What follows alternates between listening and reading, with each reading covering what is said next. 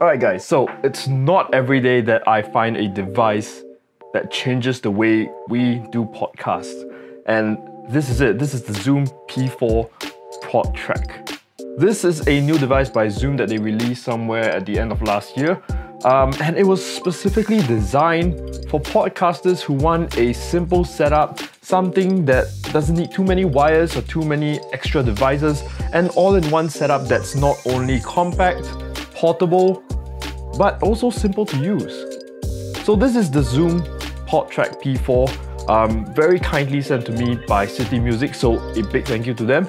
Go check them out. They have a lot of other devices from Zoom. They have a lot of other products, audio equipment, recording, mixers, um, all that good stuff. Just go check them out. So a big thank you to them for sending this over and this really answers all my prayers. I mean, the last time I had to set up a podcast, man, it was such a pain in the ass.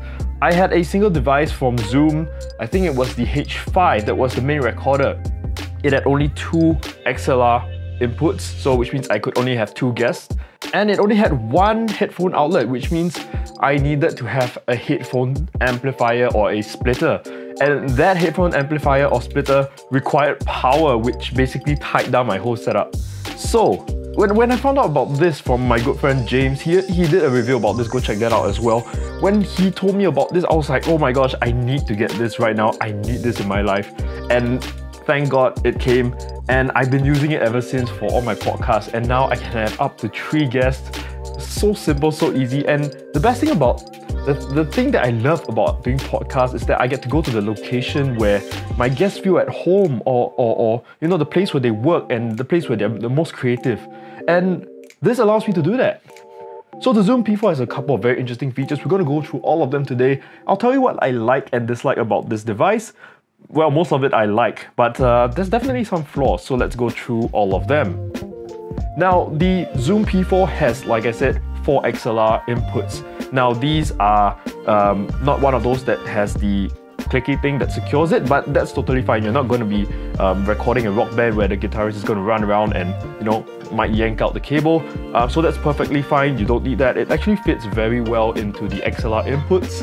Each of these inputs uh, have a gain knob, so you can adjust the individual gain up to 70 dBs, which is pretty good for a device this small and a device that's this affordable.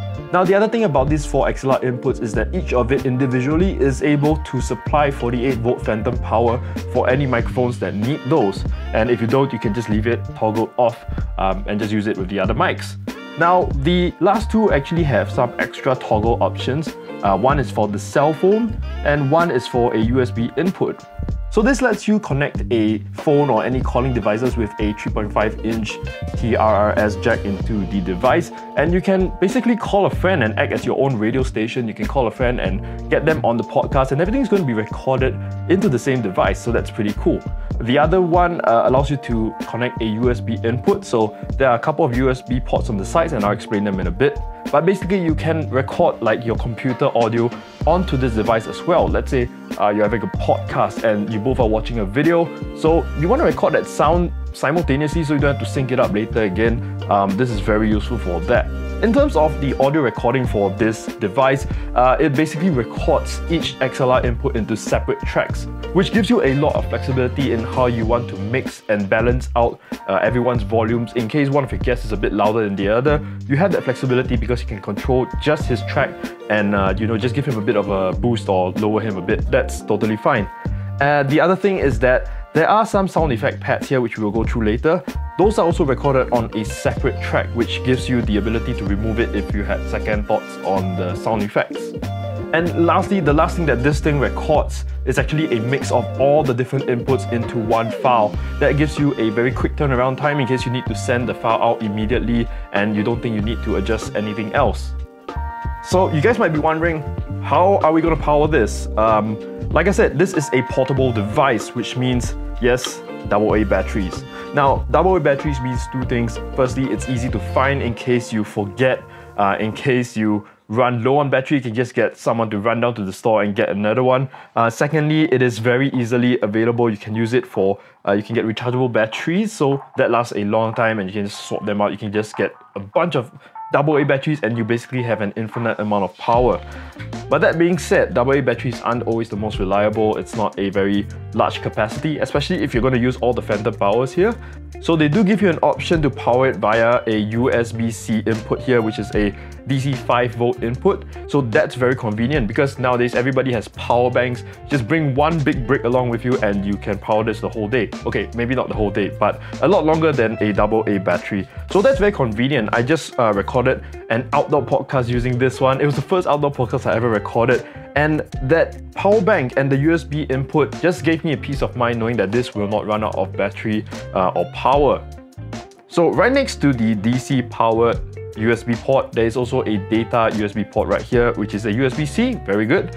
Uh, this allows you to firstly transfer all the data from this device, which is recorded on an SD card, transfer all of this into your computer, um, save it and do all the good stuff, but it also allows you to record sounds off your computer onto the device. Like I said just now, maybe you're in a podcast, maybe you have a computer in front of you and you're playing some kind of video or music, it records it directly to this and you know, it syncs up everyone's audio and you know, just less of a hassle uh, in post editing. Uh, the other thing it can do is also record out to a computer device. So this acts as a mixer uh, where you can have all your XLR inputs into this and recording onto your computer directly. And the great thing about that is that you can also record it simultaneously with the SD card. So now you have a backup recording here as well as one on your computer. The only thing is that the one that's recorded on your computer cannot be separated into different tracks. It will most likely be recorded into a single track because it is a single input. So before this, I did mention that there is a port on the side, a 3.5mm jack port that accepts a TRRS cable that connects to your phone. This allows you to get people to call in and be part of your podcast, which is really cool. Um, and the special thing about this device is that it has a feature called the Mix Minus. Now, in a very simple terms to try and explain this, um, sometimes when a caller calls in and is being looped through a mixer or recorder, he hears his own voice being recorded and, and there's this weird feedback loop. So the Mix Minus basically cuts off his voice from being repeated back to him. Um, the caller still can hear everybody else, everybody else still can hear him, but he does not hear his own voice being repeated to him in a weird echoey way. Uh, I hope that's clear enough. It's a bit hard to wrap your mind around it, but basically it's an automatic feature that you don't have to worry about. So a mix minus feature, you guys can Google that and find out more. Really good feature. Now, there is an additional device, um, a Bluetooth adapter that you can attach to these two ports.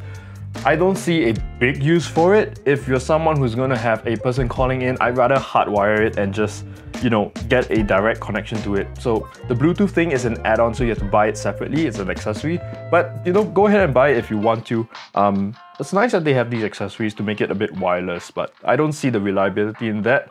Um, I'd much rather rely on a solid cable. So let's very quickly go through the control of this device, uh, starting from the top. Now we have four of these knobs here that control the gain input from the microphones. Now, if you're recording with different brand microphones, different models, they all have different inputs coming in and you kind of want to balance them. So this is the best way you can do it uh, using these four knobs. Right under the knobs, you have the toggle switches. The first two just allows you to toggle phantom on and off. The third one allows you to toggle to the TRRS cable mode, which is connected to your phone. So basically toggle to the phone mode. And the last one allows you to toggle to the USB input mode, which allows you to record from your computer. So you will always get a maximum of four inputs at one time, so you can't go more than that. Um, right underneath there, there is mute buttons. So you can see I'm clicking each of them. Um, they light up in red, really good because it's really bright. You can see whether you are muted or not. Um, and that's really good. The only thing is that it has this little clicky sound that isn't great, especially when you're recording in a very quiet room. Um, I would much rather have this in a very soft rubbery button. I think that would have been better, um, but not such a big issue. Um, right below that, we have the sound pads over here, A, B, C, and D. They do have preloaded sound effects inside there, um, but you can also put in your own sound effects, you know, like an intro music or um, specific sound effects. Uh, that's totally up to you, um, but I won't cover that. There are plenty of tutorials out there that teaches you that. Uh, right next to it, we have uh, a really large screen. Um, I say this is large because there are some recorders with really small ones. I think this is sufficient.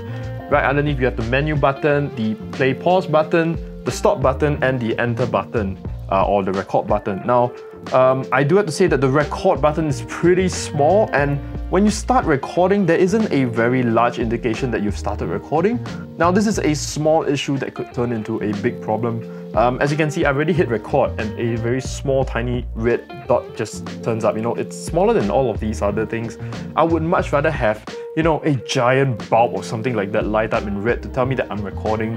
Because there are a few instances where we forgot to press record, uh, even though we have everything set up and the last thing we needed to do was press record. Um, and lastly, at the bottom, we have the individual headphone volume knobs. Um, this is very convenient because, you know, each of your guests might want to have their volumes adjusted slightly differently. Some of them might not want to have you know, loud, loud voices in their headphones and some of them might want to hear you a bit more clearer. So you can adjust it for each one of them. So they have all the four uh, headphone outputs at the bottom here, which is pretty convenient. Um, I do have to say that the one thing I didn't really like about this device is that it has, you know, wires coming out the top, wires coming out the bottom.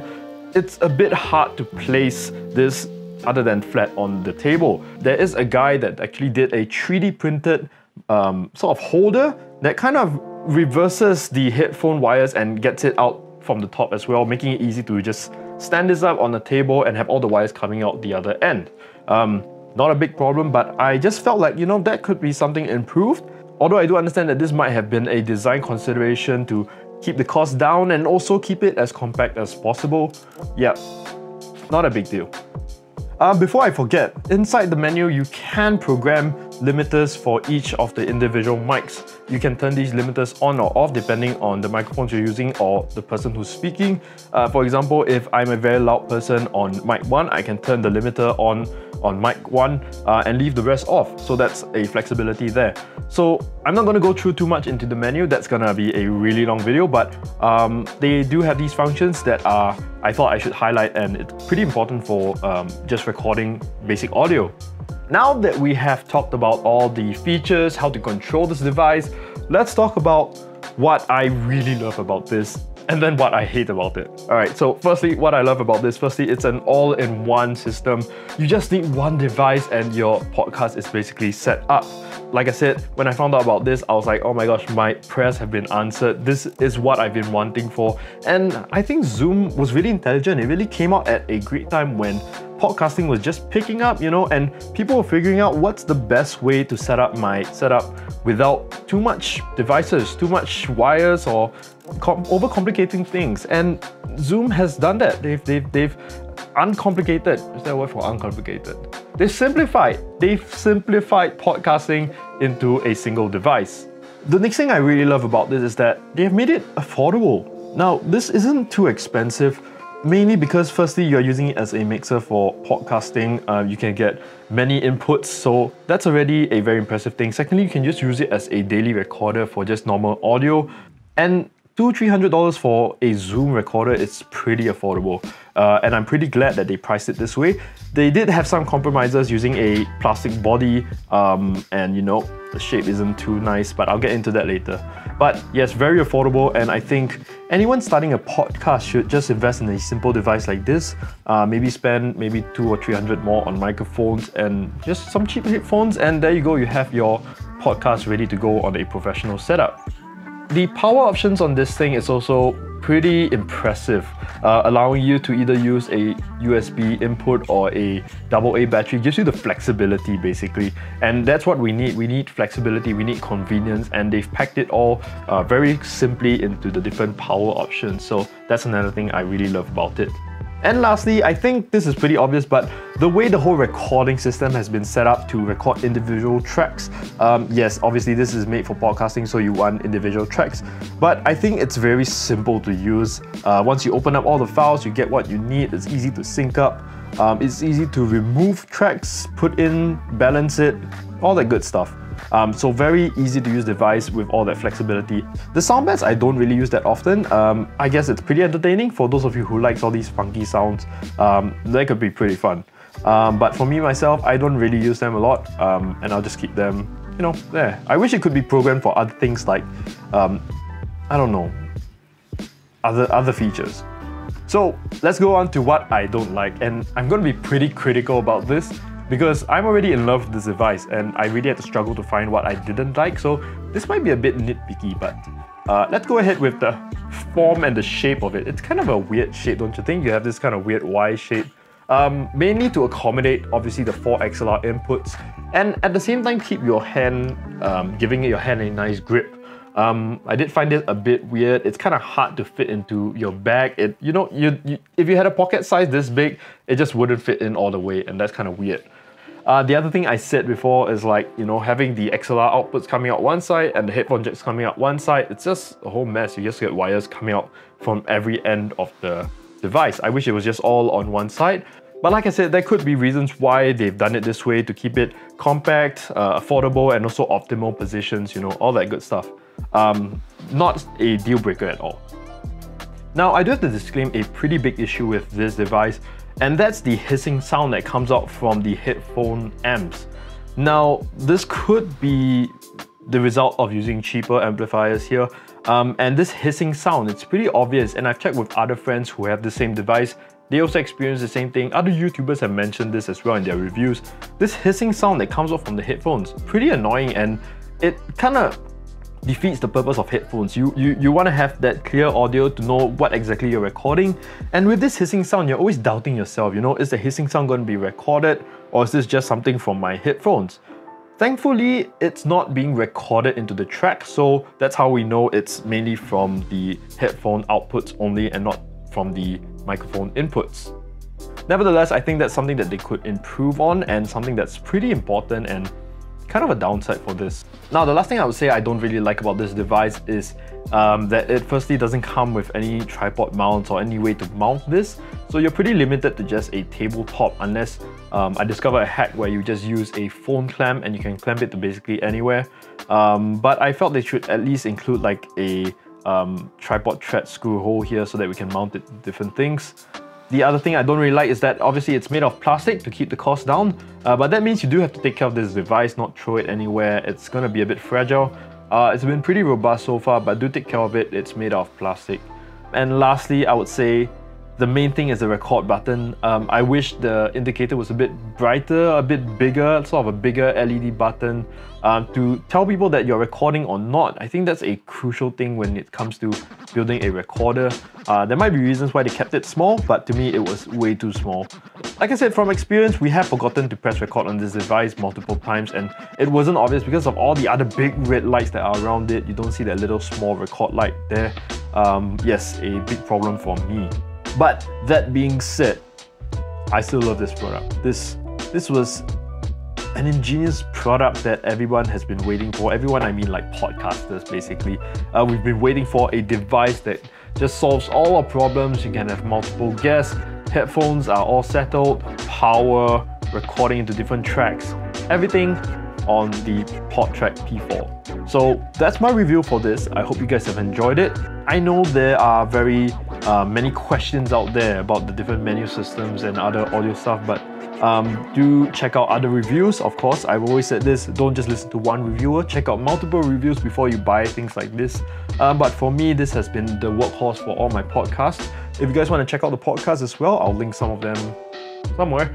Um, but yes, thank you guys for watching. I hope you guys have enjoyed this. Uh, give it a like if you like this, subscribe if you haven't, share this with any of your friends looking to get a P4 podcaster. And yes, I'll catch you guys in the next one.